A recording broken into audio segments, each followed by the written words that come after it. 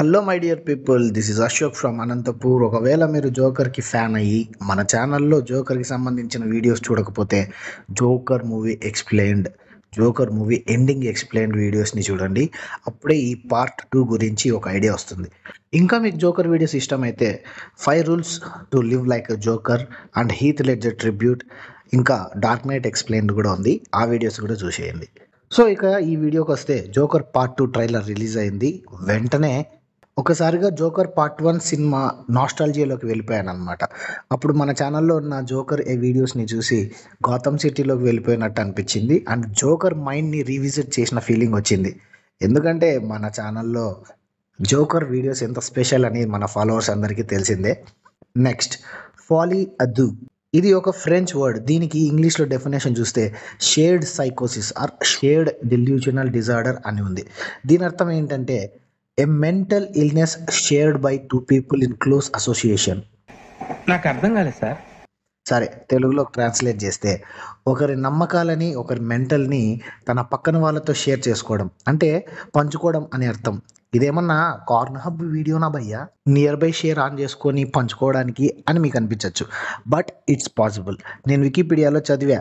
దాంట్లో నిజ జీవితంలో జరిగిన కొన్ని ఇంట్రెస్టింగ్ కేసెస్ గురించి కూడా చదివా.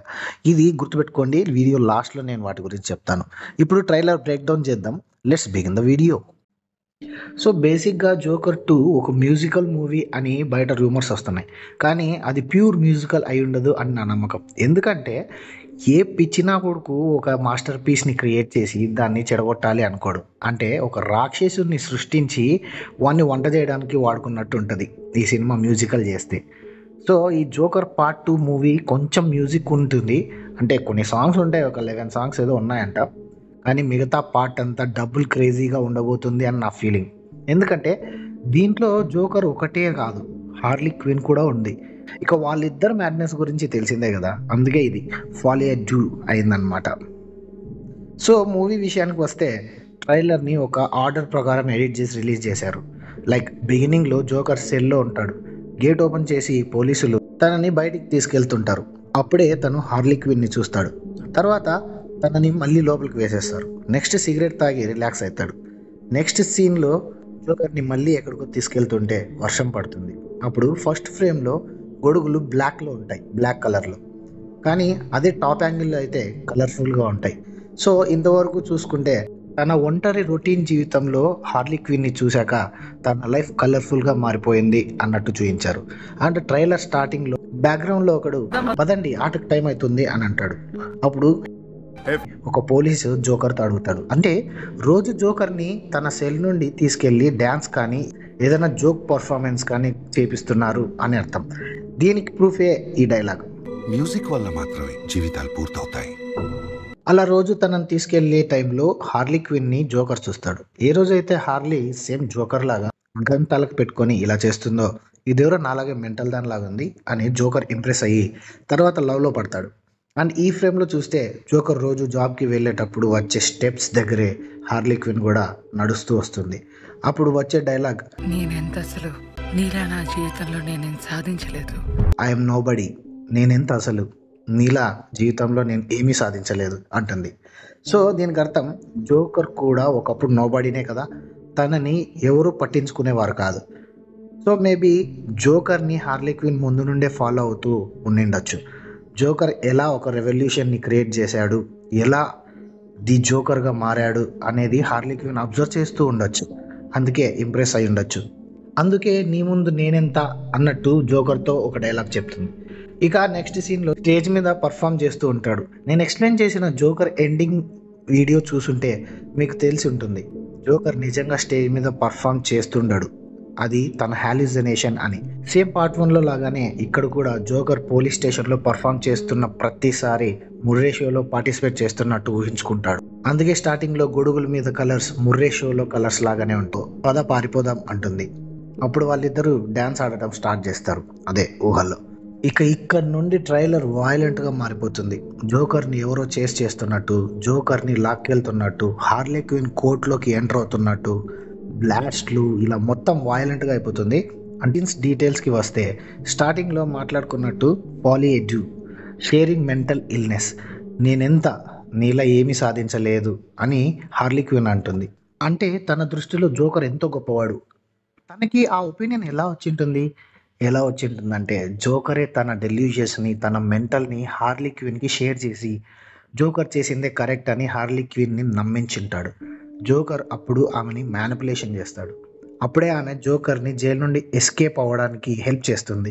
ఇద్దరు ఎస్కేప్ అయినప్పుడు ఈ సీన్ జరుగుతుంది. అందుకే వెనక పోలీసులు సైరన్స్ అంబులెన్స్లు ఇన్ని తిరుగుతున్నా కూడా వీళ్ళిద్దరూ దాన్ని ఏం పట్టించుకోకుండా డ్యాన్స్ చేస్తూ ఉంటారనమాట ఇలా పిచ్చి పీక్స్కి చేరిన తర్వాత హార్లీ క్విన్ జోకర్ని కాపాడటానికి ఇలా ఫుల్ సూసైడ్ స్క్వాడ్లో చూపించినట్టు హార్లీ జైల్లో ఎంప్లాయ్ అయినా అయి ఉండొచ్చు లేదా తను కూడా ఏదైనా చేసి జైలుకి వచ్చి ఉండొచ్చు.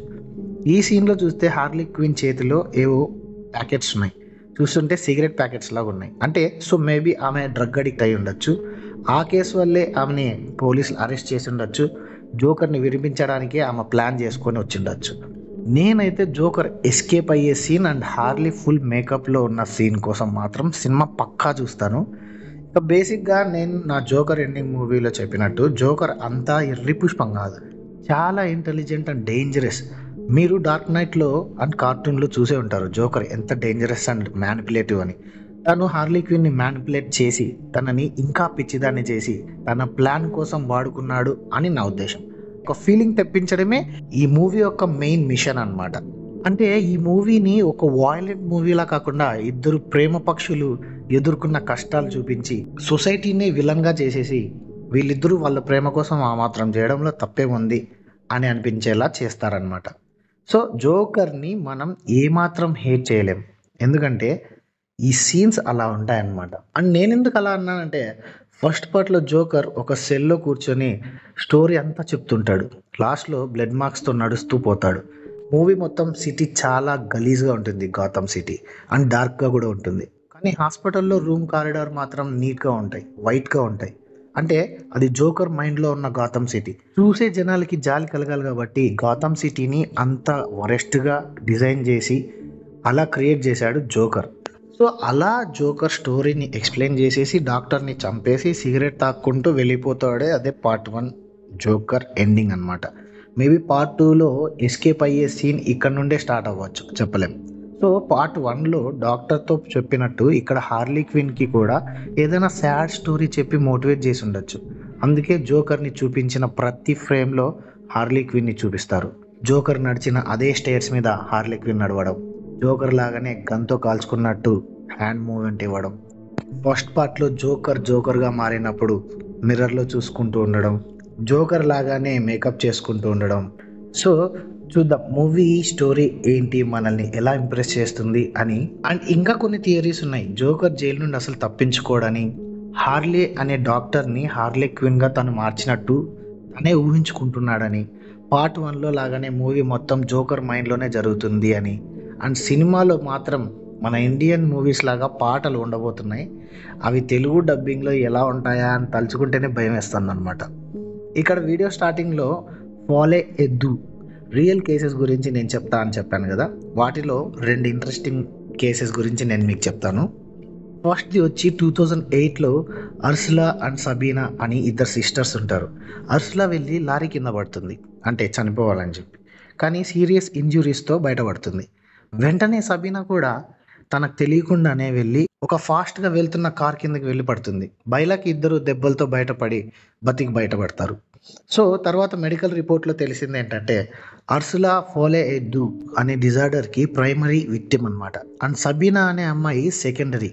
అంటే అక్క డిజార్డర్తో తన మెంటల్ ఇల్నెస్ని ట్రాన్స్ఫర్ చేసుకొని ఇన్ఫ్లుయెన్స్ అయిన చెల్లెలు తనకు తెలియకుండానే వెళ్ళి కార్ కింద పడింది.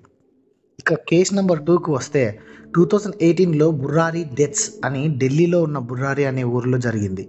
పది మంది ఫ్యామిలీ మెంబర్స్ ఊరి వేసుకొని చనిపోయారు. ఇక మిగిలిన ఎనభై ఏండ్ల ముసలామ మాత్రం పక్క రూమ్లో పడుంది.